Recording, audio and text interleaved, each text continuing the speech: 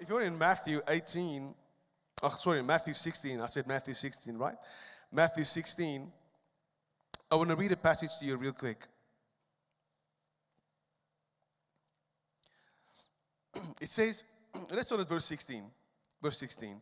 Matthew 16, 16. It's better to start at verse 16. It says, He who believes, he who trusts in and relies on the gospel, and in him whom it sets forth, and is baptized, will be saved. So the Bible says, so if you receive the good news of Jesus and if you believe it and if you are baptized, then you'll be saved. Amen. Okay? Then you will be saved from the penalty of eternal death. But he who does not believe will be condemned. And then in verse 17 it says, and these attesting or accompany signs will accompany those who believe. In my name, they will drive out demons. They will speak in new languages. They will pick up serpents, and even if they drink any deadly thing, it will not hurt them. They will lay their hands on the sick, and they will get well. So then the Lord Jesus, after he had spoken to them, was taken up into heaven, and he sat down at the right hand of God. And the Bible here says, verse 20, and they went out and preached everywhere while the Lord kept working with them and confirming the message by the attesting signs and miracles that closely accompanied it. So, here the Bible tells us that after all the disciples and all of them were continually following Jesus, moving with him, um, being trained, seeing what he can do because no one has ever done this. And here Jesus walks on water. Here Jesus speaks to the wind and the waves, um, wonders, signs, and they see all these things. And I think many of them must have asked, Lord, but we also want to walk in these signs. We also want to walk in this power. How else will we be effective? Have, have any of you ever thought as Christians, um, how can we truly show the world that we are from God? How can we show the world, for those who do not know God, how can we prove to them that God is powerful? How can we convince them that He loves them? And, and, I think many of you might have been in that position if you went onto a outreach, you've gone on an outreach and you went to go and preach in a tent, or you went to somebody's home, or you went into a village and you had to explain to them, first of all, that Jesus loves them. Secondly, that they have received good news. Amen. That Jesus laid down his life for them. And I remember when I was younger and I was 19 years old, still in Bible school, I would always ask God, please do something today. How many of you have ever asked the Lord to do something for you? And not just for you, but for someone. And I would, I would walk up to a person, I would say, please, Lord, do something miraculous. Lord, or please, Lord, show me something about this person that nobody knows. Please, Lord, reveal something to this person. But Lord, please just do something. And I remember once I was I was sitting in, in a hall, and it was as if all of the people there just weren't open to receive from God. Because things didn't go as planned, that things didn't go as, as we wanted it to go. And, and, and we stopped everything in that meeting and we said, no, now we're going to split up and we're going to take four, four people and we're going to sit together in the room because the lights aren't working, the sound's not working, things aren't working. So we said, we're just going to do what we need to do today. We're going to sit 4 4 with people uh, in, in small groups and then we're going to start praying for everyone. And I remember, oh man, I was in Bible school, just started Bible school. I said, oh Lord, please need to do something now because I'm not that good in sharing the gospel yet. I'm not that convincing yet. And here I'm sitting with people that's older than me and I'm sitting there saying, Lord, you need to do something, you know? And they're staring at me, expecting me to do something, expecting me to train them or teach them of the Lord or to convince them to believe in God. And I didn't know what to do. I felt so unqualified. And I just sat there and I looked at them and I greeted them. And I had a bit of small talk, you know, where are you from? You know, how old are you? You know, what do you do? And because I'm, I'm just playing around with time, waiting for the Lord to do something or tell me something. And as I'm praying, I remember I stopped and I said, in my mind, I just said, Lord, please, I just surrender to you. Have your will right now. And the next moment, the Lord showed me a picture of the man that I was talking to, showed me a picture of when he was nine years old and how he was in a church for the first time and the last time. And, and he was nine years old in the church, and I saw the preacher pointing at him, calling him out out of the whole congregation, and how the preacher gave him a word and said that the Lord says that one day you'll be an evangelist and you will touch many people's lives and you will do great work for him. And I saw this playing off in my mind. The next moment I stopped and I said, Sir, can I tell you something? And he was as hard as a rock, you know? Didn't make it easy for me. And I looked at him and I said, Sir, I just saw a vision that the Lord showed me that you, was, that, that you were in a church um, when you were nine years old, and the Lord and, and a man, the preacher, called you out in front of the whole church, and that was the first time and the last time you were in the church. But the Lord gave you a word that you are called to be a, an evangelist to go and preach all over the world. And this man jumped up and started crying like a baby. And everybody was quiet in the whole hall. Nobody spoke, nobody said anything. Everybody was praying softly. And he jumped up crying, burst out in tears, and he said, Who told you that? Who told you that? Everybody turned around, and this, this whole scene in the building. I said, No, quiet down. So that I just saw that in a vision. That's what the Lord showed me because He wants to speak to you once again. He wants to remind you of what He showed you when you were nine years old. And He said, Yes, I was nine years old, and my heart was set ablaze for God that night when the preacher called me out. But then that day, my dad was offended, and he never wanted to go back to church again. So I was never in the church afterwards. My heart was broken. And every day I would ask the Lord, When will you once again speak to me and confirm to me that you want me to be an evangelist? And He said, I gave up on that. I tried everything else, nothing else is working out. I said, I gave up on everything. And yesterday I prayed. I said, Lord, if you are alive, even if you, if you love me, even if you're still out there, you will at least give me a message. And he said that night he saw the advertisement of the Bible school that will join in the building get everybody in, in, in, the, in the area together. And he felt, well, Lord, if you're going to speak to me, you speak to me tomorrow night. And he said, Here I am sitting here. And you, as a young man, called me out and said that the Lord saw, uh, saw me and spoke to me when I was nine years old in a church. Nobody knows of the story. How can you know it? And I said, Well, that's how the Lord works. Amen. And, and his life was completely changed. And when his life got changed and touched that afternoon, he started sharing that message with everyone in the building. All of a sudden, when nothing was happening, in half an hour, that whole building is touched by the Lord. People crying everywhere. Holy Spirit filled that place, and people's lives were never the same again. It was so amazing to, to be part of it. And, and I can continue sharing the, the stories where there were times where I said, Lord, there's nothing that I can do right now, but, but you need to do something. And every time when I would surrender and say, Lord, please show me something, or please, Lord, do something. And every time the Lord would show up and He would do it. Every time, because the Bible says, and, you must understand, the Bible says that Jesus spoke to all the people. If you can read it in, in, in Luke 14, and there's so many scriptures that we can share right now, but Jesus spoke and He said, I will not leave you as orphans, but I will send you my Holy Spirit. And He will be with you and within you.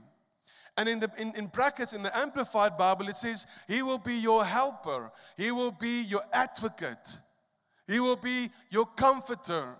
But the other word that's also written there is standby. He will be your standby. Who here works on the mines, and when you're on standby, if they call on you, you need to go because you're on standby. And here the Bible says the Holy Spirit is also your standby. When you need help, He's on standby. Amen? He's there to help you. When you feel that you've run out of words, He's there to help you. Even when we pray, the Bible says, when you do not know what to pray for, the Holy Spirit will intercede on your behalf. Why? He's your standby. And many of us see Him as our comforter, our helper, and our support, our teacher. But how many of you have ever known Him or experienced Him as your standby? I've been there before. I've prayed I've, I've ran out of words. I don't even know what to pray for anymore. I don't even have the words to pray. And then it's as if there's groanings on your inside. There's something on, in the depth of your spirit that's just bubbling out of your heart. And you can't even speak the words, but all of a sudden you start praying in the spirit.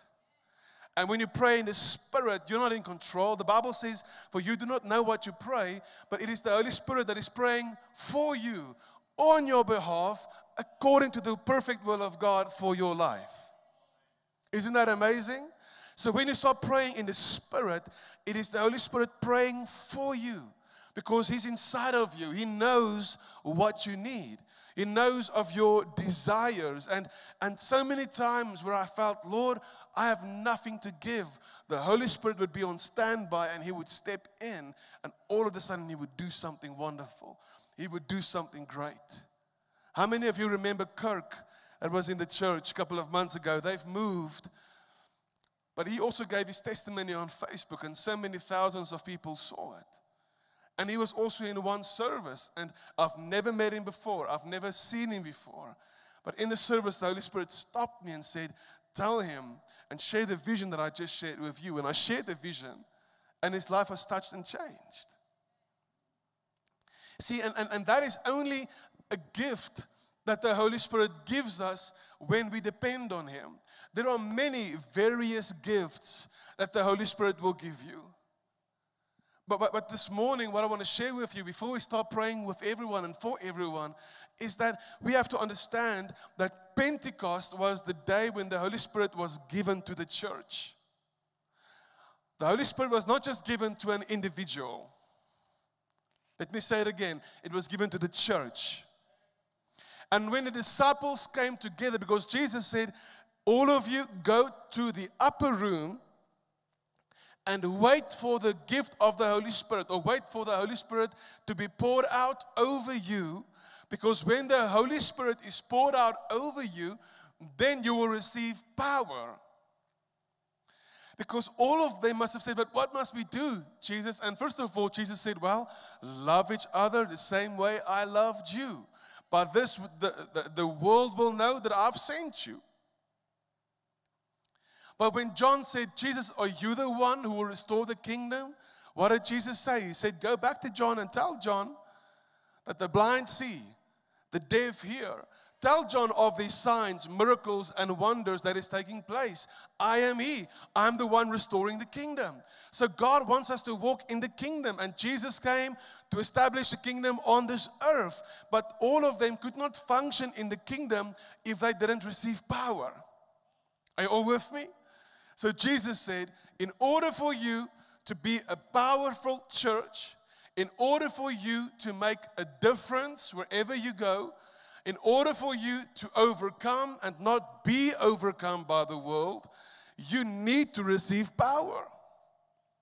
And Jesus said, Go and wait in the upper room. And as you wait, you will receive the power of the Holy Spirit.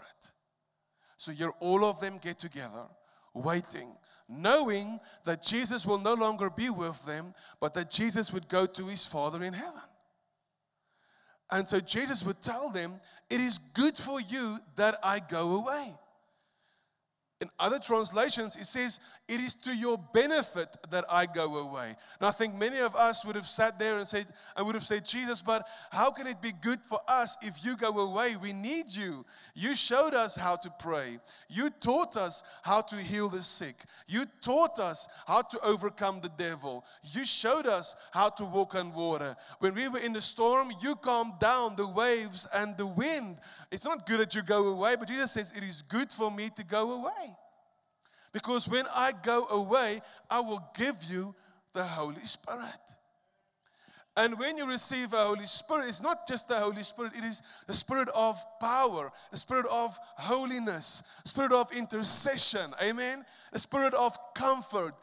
It's just so much more than just a Holy Spirit that we have, and that's with us. He's everything that we need every day. And he, the Bible says, and he will lead you in all truth. He will guide you in all truth. I don't know how it is possible to have church without the Holy Spirit.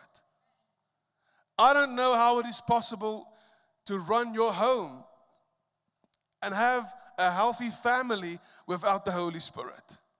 I don't know how you can stay married without the Holy Spirit. Are you all with me? And anything that is done without the Holy Spirit is like a radar car that you buy for your son and you put no batteries in it. That's exactly what it's like. Or you buy a fire truck for your son for his birthday, but it's got no batteries in it.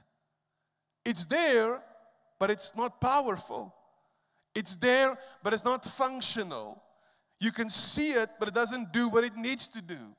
And I think if we have churches that is religious organizations that is just getting together, go through the motions every Sunday, without the movement of the Holy Spirit. Amen. Without the power of the Holy Spirit, without experiencing the Holy Spirit, uh, without seeing people being born again, without seeing blind eyes see, deaf ears hear. Amen. Healings taking place. Last Sunday, we had a man here who almost couldn't walk. That the doctors diagnosed that we can't do anything more for you.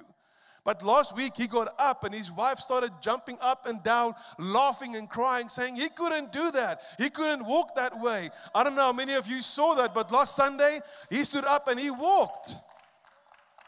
And she testified and she came back to us and said, Listen, he can now do things that he couldn't do anymore. There's a new joy in him, there's a new strength in him. Healing definitely came over his body. Come on, I remember that we've prayed once in, a, in, in an outreach in Mhluzi. We prayed for a young girl who was sitting in a wheelchair who couldn't move. And there were so many people who came for that healing service, and we started praying for everyone. And I prayed for her lastly, and she started moving her, her one foot. And her family was so happy because she was completely paralyzed. And I was just busy the week later to minister at a school. And as I was driving from the school, I saw my phone ringing. And, and I picked up the phone and said, Yes. And I heard somebody cry on the other side of the phone. And I said, Who is this? And the lady said, I'm the mom of the girl that you prayed for who was in the wheelchair last, last week. And I said, Yes, how are you doing? Is she getting better? And I said to her, I believe the Lord did something that day. I believe healing came over her body. And as I asked her the question, she burst out in tears. She said, Pastor Jamon, I just want to tell you that I was busy in the kitchen preparing food, and my phone was in my room, and I didn't go to pick up my phone, and I just left it because I was too busy with the boiling water and the food that I was busy preparing. And she said, and my daughter was in the TV room, and the next moment I heard my phone coming closer to me as it was ringing. And she said, I, I weren't sure what happened or who it was because it was just me and my daughter in the house. But she was in the TV room in a wheelchair. And she said that the next moment she heard the sound of a phone ringing coming closer to her. And as she turned around, there her daughter was standing right next to her with the phone in her hand and said, Mom, your phone's ringing. until today. And we followed up months later. We kept on following up, and she was completely healed. Her daughter, completely normal, went through school, went through everything, completely healed, perfect. One morning, the Lord woke me up. He said, Jamon, you need to go to a school. And I'm just want to share this with you, just to stir your hearts. And said to me, There will be a girl that you need to pray for. Remember I got up that morning, I got into my car, I went to the school, I went to go and see the headmaster. He said, Why don't you come and preach for the school in break time? I said, Okay, please announce it. So I go to the school, he announces all the kids who want to go to church this morning, go to the hall. There's going to be a pastor, he's going to pray for you, everyone, and, and preach to you. So here I am in the hall, all the kids come in, and we play a couple of songs. I preach to them. And the next moment I said, Lord, you, you said to me that there will be a girl that I need to pray for. And he said, just make an invitation. So I stopped. I said, Is there a little girl that needs a prayer or anybody else that needs prayer? Please come to the front. I want to pray with you. So as I'm standing here, a small little girl, I think she was in grade two, came out of the big group of people, came and stood in front. He said, Please pray for me. Little girl. I looked at her and I said, What can I pray for you? What can I pray for? And she started crying. She said, I must go in for an operation in, in four days. I said, What operation? And she said, No, the doctors found out that I have a hole in my heart. That's why I'm so weak. That's why I'm always tired. I always faint in class. I'm always sick. I'm always in the hospitals every, every month. Said, But please pray for me. I believe Jesus can heal me. And I looked at her and I said, You know, that's the reason why I'm here today. Is the Lord said, I'm going to have to pray for a little girl, and that's you. And I looked at her and I put my hand on her, and I knew the miracle already happened. You know, sometimes you just need to show up. Amen. Jesus knows what He's doing. And I touched her and I said, In Jesus' name, I pray that healing will come over you and your heart. And that from today on, you are perfectly healed. No more problems, no more pain. You were healed in Jesus' name. I kept on praying for everyone else, went back home. After two days, I'm in Absa with money under my arm that I need to go and pay into the church's bank account. As I'm standing, somebody grabs me on my arm and I'm ready to do kung fu, whatever, because I felt, I thought somebody's about to steal the money that I'm about to deposit, but somebody grabs me on my arm. I'm ready to, you know, sort them out. And as I grabbed my arm back, I said, What can I help you with? And the lady fell on her knees in front of me. She started crying. I said, Ma'am, what's wrong? And I picked her up and she stood up. She said, Sir, are you the pastor that went to my daughter's school a couple of days ago? I said, Yeah, we, we, we to go and preach there. And I prayed for a little girl. She said, Sir, that, that girl is my daughter. I said, Yes, how's she, how's she doing? She said, Sir, right now, before we came to the bank, we had to withdraw a lot of money because we were supposed to go in for an operation within two days. I said, Yes, what happened? She said, We don't have to go for the operation anymore. she said, That's why I'm at the bank. That the money that we should have used to pay for the, opera- uh, for the operation, we no longer have to pay for it. We're about to pay it back into our account. Because when we went for a checkup this morning for the doctors to make sure where they have to cut and what they had to do, the doctors said that they can't explain it. They don't know what happened, but the hole that was in her heart's completely filled up, completely gone. Isn't that amazing? And, and, and throughout the years that, that we have seen signs and miracles like this. We've, we've gone to Botswana, and I can't explain to you how many healings we've seen in the schools in Middelburg, in our own church. I can keep you busy the whole day and share these awesome healings and miracles and prophetic words. I can keep on sharing that with you. But it's so amazing, even when, when my wife would pray for someone in Botswana um, who was completely blind, couldn't see anyone, Her family had to drag her everywhere and she couldn't see. Her eyes were completely white. My wife prayed for her, Aisha prayed for her, and in the service, um, she, Aisha called out and she said, Jamon, she can see. She was blind, but now she can see. So I said, okay, let's test it. And I put my hand up. And I said, ma'am, what am I doing? And she said, you're waving at me. Her eyes still completely white, but she can see. Complete healing came over her body, and we would follow up. We would always follow up, ask, Are they still doing well? Can we still pray for them? And they will say, No, she still sees perfectly well. and so I could go on and share all of this with you. But you know what? That is what we need in our churches. That is what we need in our congregations. That is what we need in our cities, is for people to see the power of God. And so here Jesus says, go to the upper room. When you go to the upper room, we, you will be clothed with power to do the will of God. See, today we focus more on the knowledge we have of God instead of the power that we receive from God.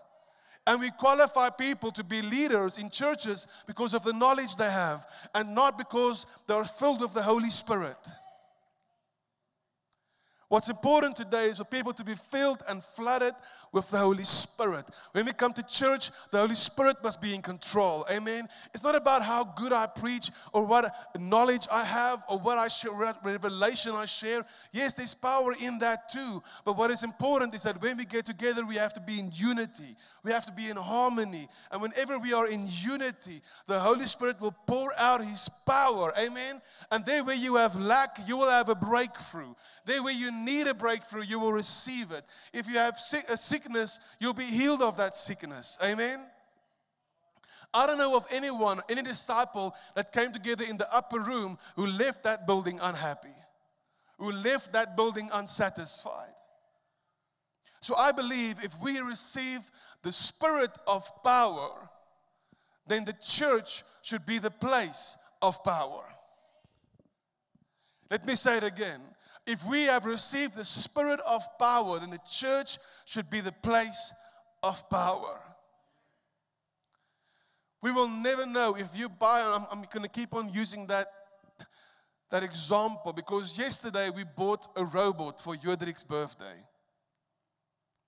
And I have this, this story in my mind the whole time that if you don't have the Holy Spirit, it is as if you have a computer without electricity a laptop without electricity. It is there, but it is powerless, it is useless. And we, we bought a, a robot, a nice robot for Jodrik for his birthday.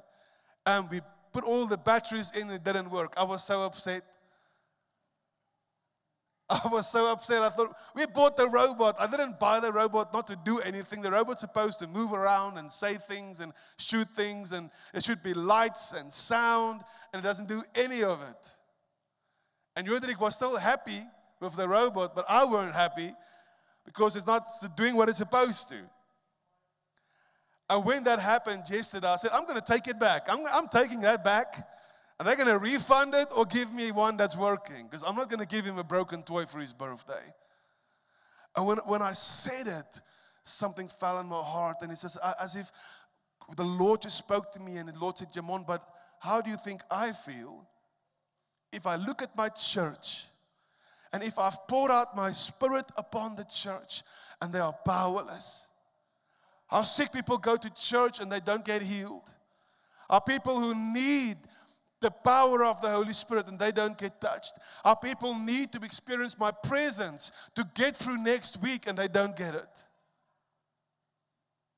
They are told, be warm, but they don't receive a blanket.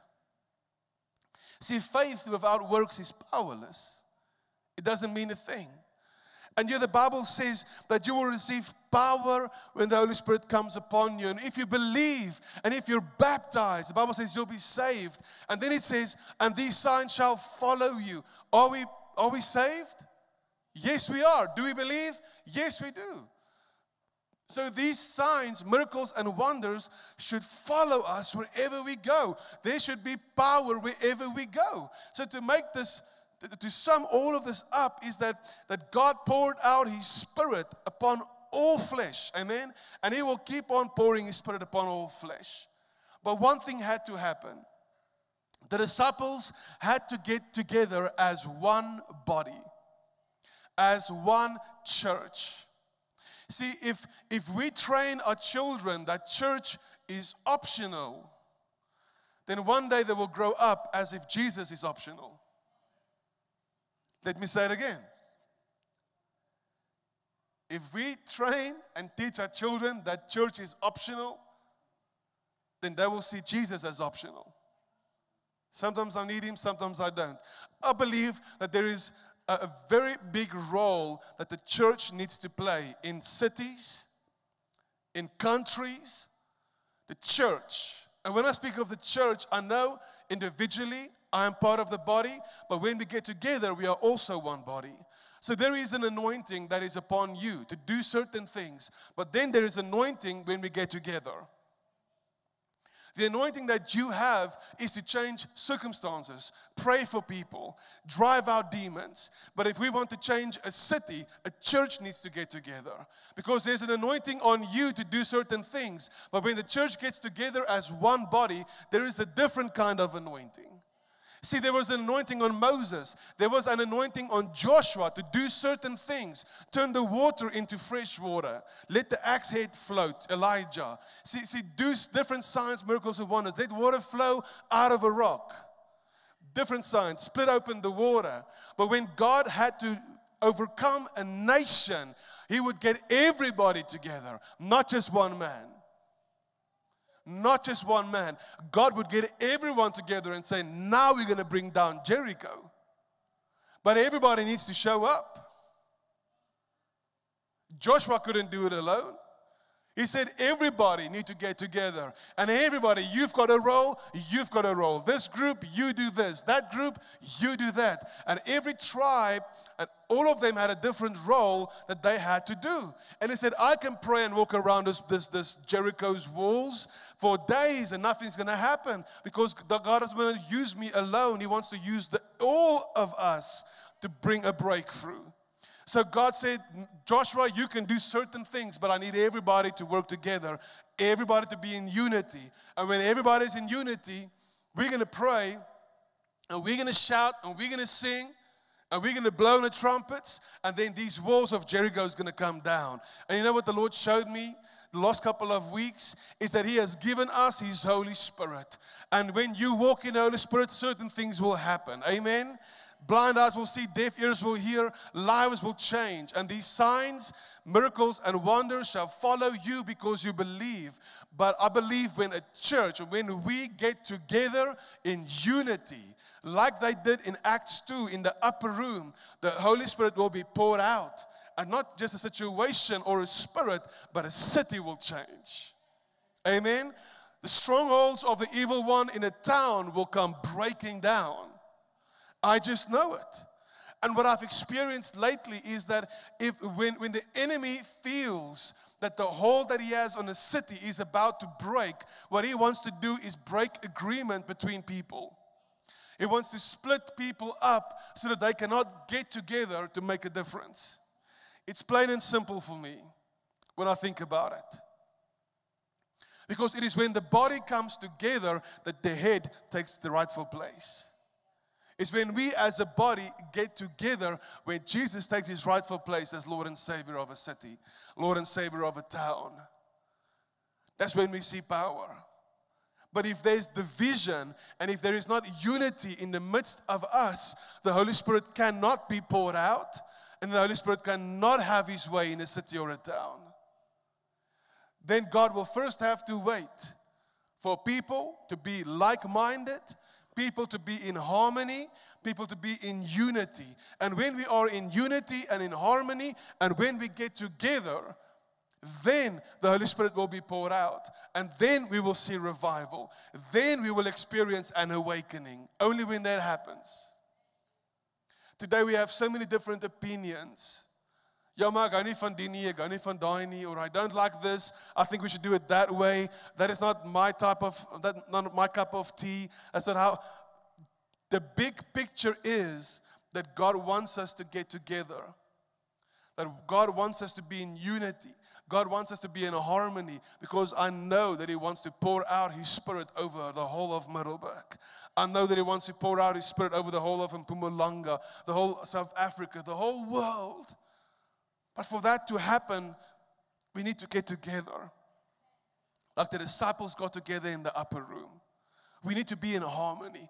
We need to be in unity for that to happen. And I've been praying after the Lord showed me that when the Lord spoke to me and said, But how do you how do you think I feel if my church is powerless? It's like that robot not functioning. It's like the battery is not doing what it's supposed to do. And this morning, I just once again feel that I wanted to share that. If you could just go to Psalm 133, I wanted to share that with you. Oh, you didn't have to go there, I can quote it for you. Psalm 133 says, How wonderful it is when brethren dwell together in unity. Then immediately it says, It's like the oil that is poured out. Immediately. So whenever we come together, God wants to command a blessing.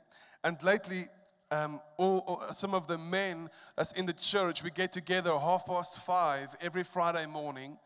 And we started with the commanded blessing of Bishop Michael Pitts. And we watch a short clip every Friday. And then we speak about it and then we pray about it. And it's so amazing to hear what Bishop shared about the commanded blessing because it, it, it steps in to what we are sharing right now of how important it is for us to get together. How our goal should be to focus on what do we agree upon and not what do we disagree with. Because when the disciples got together, the Holy Spirit was poured out. And when the Holy Spirit was poured out over them, they received power. They received power. And when they had power, they went out and they prayed for the sick. They lay hands on them. They blew their breath on them. And then the, the others would receive the Holy Spirit and start praying in different languages, just like they would. So they would blow on them and they would receive the Holy Spirit.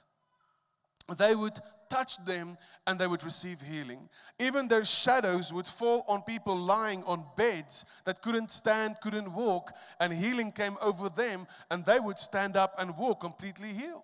When they got to the gate called Beautiful, they said, Silver and gold we do not have, but what we do have, we can give you. What did they have? The power of the Holy Spirit. And that they could give. It's sad if we can give everything else but we cannot give the power of the Holy Spirit. We need it more than ever before. We need to see that healing. We need to see the power. The Bible says, signs, miracles, and wonders shall follow those who believe. Today, my only question is do you believe? Do you believe? Are we as a church in unity? Are we in harmony? There are so many attacks against so many churches lately. There are so many attacks against church leaders. Do you know why? Because Satan and the devil knows that if the darkness becomes more and more, that the light of Jesus will burn more and more. He knows that darkness cannot overcome light. Darkness doesn't understand light. But that's why it's so important for us to get together more than ever before. Many of you have watched Braveheart. Many of you have watched all these movies. And when the time comes where great war will break out, all the allies would get together and fight together, even if they are different, even if they don't like each other. they will still get together. Why? For the greater good. Because they need to win the war. They're different from each other, they do things differently, but they will still unite to do what? To win the war. And I feel that there is a great battle at this moment spiritually over many of our families, many of our businesses, many of our friends, churches that we know of, church leaders that we know of. I've never experienced it in this kind of way. But all I know is that if the devil is silent, then we're doing something wrong. But when he gets upset and when there's attacks and when it increases, it's because we're doing something right. Amen? And that he's scared because of what's happening. See, Jesus tried to do um, what, what, what no one else could do was to get people together. The religious system at that time said you must do this and that, then you're okay. So Jesus' goal was always to bring people together because wherever he went, thousands of people would get together. And that is what we call the church. I understand many people are upset with church. I, have got my own church. I've got this, and I don't go to church anymore. I saw statements a while ago of a man who, who asked, "Why are the many churches empty these days?" And you should have seen the comments. I was so upset. I, I was, I was so hurt. I actually started crying that night, thinking, "Yo, these people are so hurt." And I understand why Jesus stood on the rock. And when he looked at everybody, Jesus started crying. And Jesus said, They are like sheep without a shepherd. There is a place for pastors today. There are a place, there's a place for prophets today. There's a place for evangelists today. There is a place for apostles today. There is a place for teachers today. And um, it saddens me to see how many people talk how we don't need them. We don't need pastors. We don't need evangelists. We don't need prophets. Come on, today we need them more than ever before. More than ever before. Instead of breaking down pastors and leaders of churches, we should support them and help them. Say, hey, go for it. They've given their lives to do the work of the Lord. We should support them. We should support our churches. We should be committed to our churches, not just because it feels good or I like to do it, it's because of the greater good. We need to unite, we need to get together, we need to ask the Holy Spirit to be poured out over all of us, to make us powerful, to bring change. Are you all with me this morning? Come on, let's all stand together. Let's all stand together this morning. And I'm gonna, I'm just gonna pray and and, and, this morning, I just want to motivate you. And, and I feel this in my heart. And I even felt I, I'm not going to continue right now, but I want to share this with you and leave it with you and tell you how important I feel it is for all of us to know, to know that God has a plan for this church. God has a plan for each and every one of us individually, but there is a reason why He started this church. There is a reason why you are here this morning. There is a reason why God let us all come together because the Lord has a goal and the Lord has a plan. And thousands of people have been saved through this church, through this ministry. But today, I'm trusting the Lord. And I know that everybody is not here today. I know that everybody couldn't be here today. I understand. And even if they're watching over a live stream, today I just felt in my heart, I want to come and motivate you. I want to come and tell you that you are not what your situation is saying you are. That you are not your past. You are not your problem that you're facing right now. You are not the lack that you are experiencing right now. You are not what people say you are. You are who the Holy Spirit says you are. And if you don't spend time with Him, you will never know who you are. If you don't experience Him, you will never know who you are. And the Lord said that to me clearly yesterday. While I was so upset, I said, I'm going to take this robot back and they're going to give me another one. And I realized why I got so upset. I realized why I got so upset. I was, you can ask Pete. Pete was upset. yeah, yeah, yeah. Isn't it mooi? But I got upset. And as I was driving home, I thought, why did I get so upset?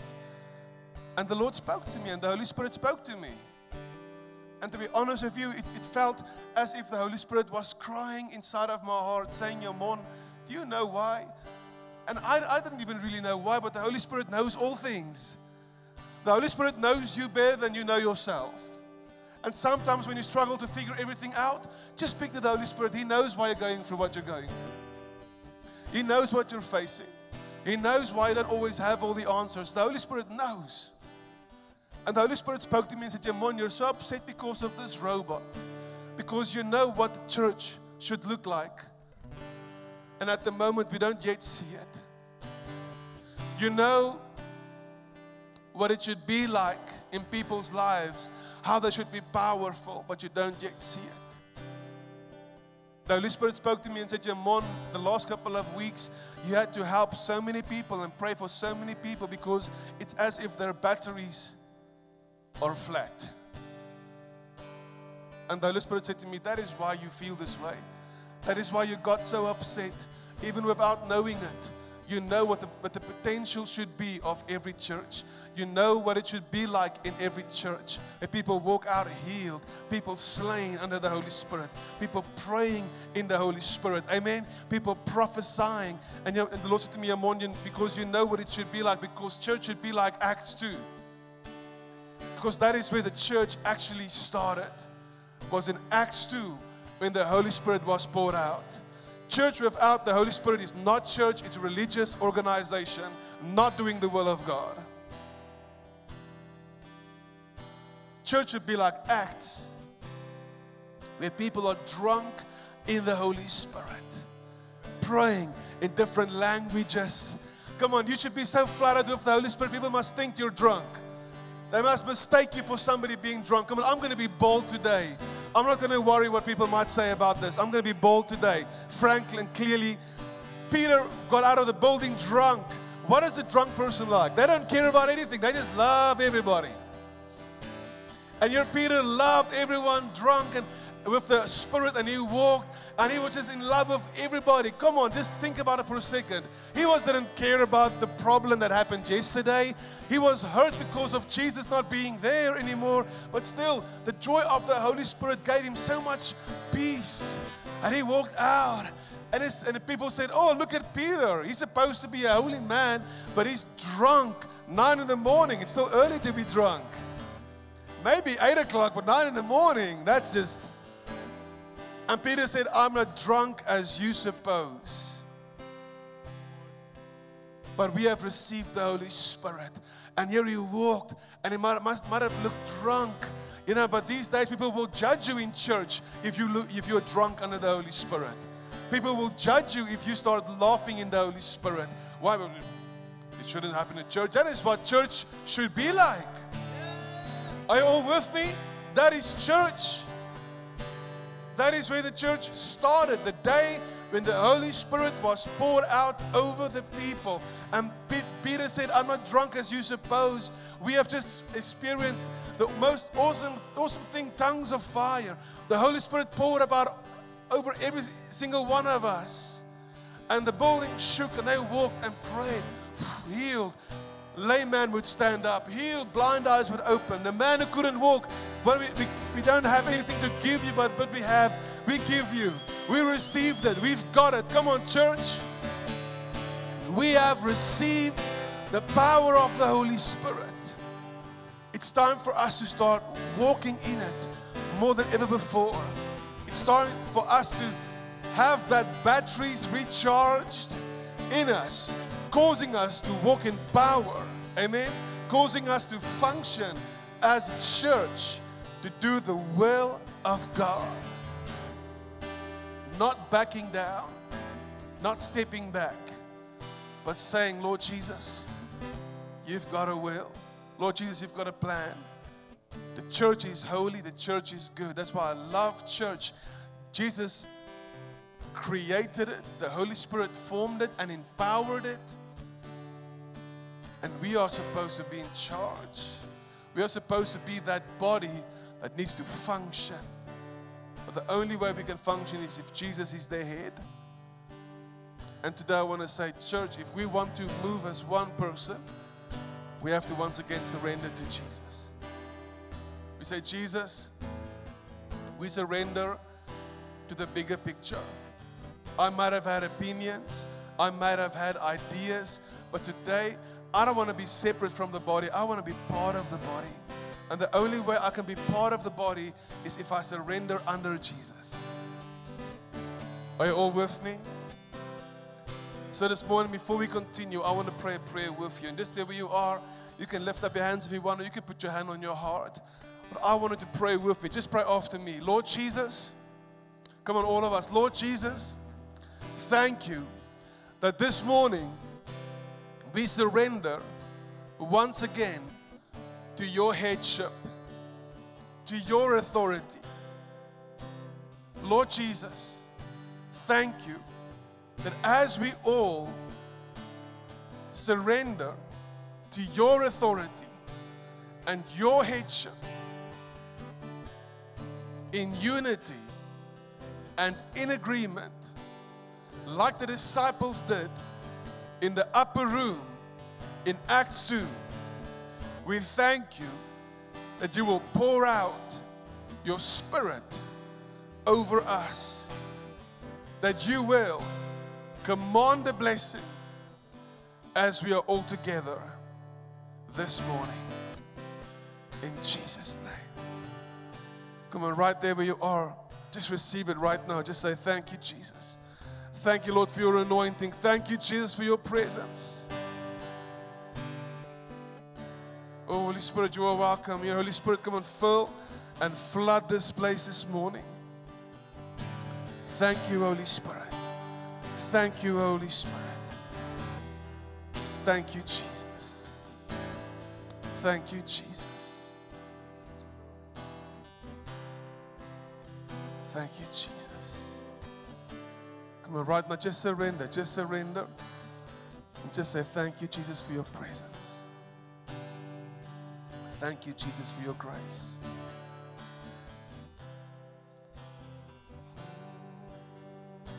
I just want to stir your faith a little this morning before we pray for you. But about three or four years ago, we were having a service and we were praying almost the same prayer that we are praying right now today. And in the service, the Lord stopped me and He said, Jamon, there's somebody watching over the live stream that you need to pray for. And I don't know how many of you can remember that service, but I stopped the service and I said, There's a Ruan watching via live stream, and um, the Lord shows me that your ankle broke. And, and I remember over the live stream, I said, The Lord's going to heal your ankle and take away all the pain you're experiencing. And I just did that with, in a step of faith. And a week later, um, they contacted me. And they said, Jamon, you won't believe what happened. We were at home and we switched on the TV and we went on to Cornerstone to watch the live stream on Facebook. And as we switched it on, we went and sat down. And you pointed at the camera and you said that there is a Ruan. And my husband like held onto the couch because his name's Ruan. and he held onto the couch and he said, Wow, he's gonna over the live stream. Isn't that amazing? That's the Holy Spirit. Amen. And I prayed and I said, There's something wrong with your ankle. You hurt your ankle, but right now, healing is going to come over your leg and the Lord's going to heal you. And he sat there and he said to his wife, um, My leg is burning. My leg is burning. Because he was in a motorcycle accident about five years ago, hurt his leg really bad, couldn't walk normally because of the motorcycle accident. I've, I haven't met him come on, over live stream. And I gave the message, and in that meeting, heat came over his leg, all the pain left his leg. He started walking better and better every single day. They actually came to the service a couple of weeks later just to come and testify. Isn't that amazing? That's the Lord, amen? That's God over a live stream.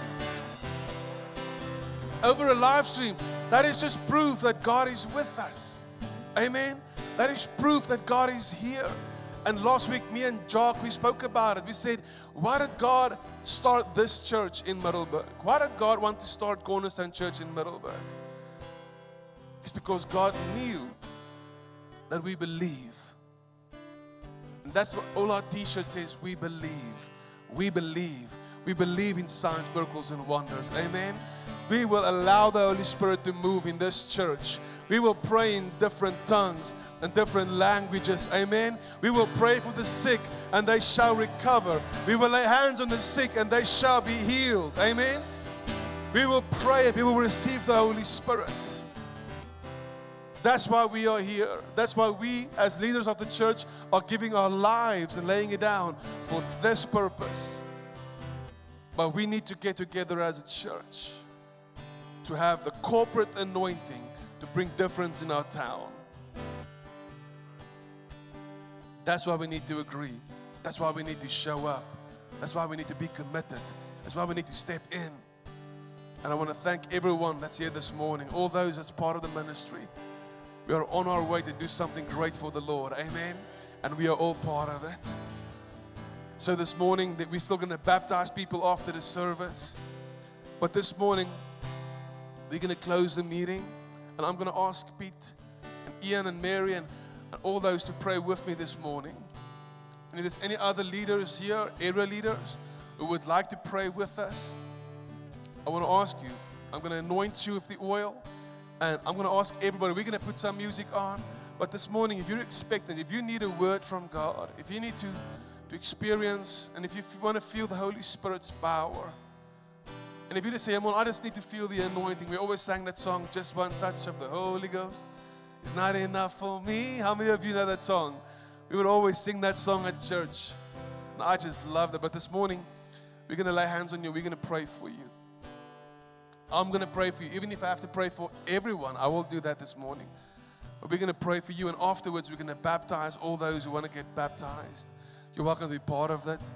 You're welcome to go and drink a coffee with someone else. Jock and Carla's really doing a lot of effort to, to bless you guys. So please go and get a coffee before you go home.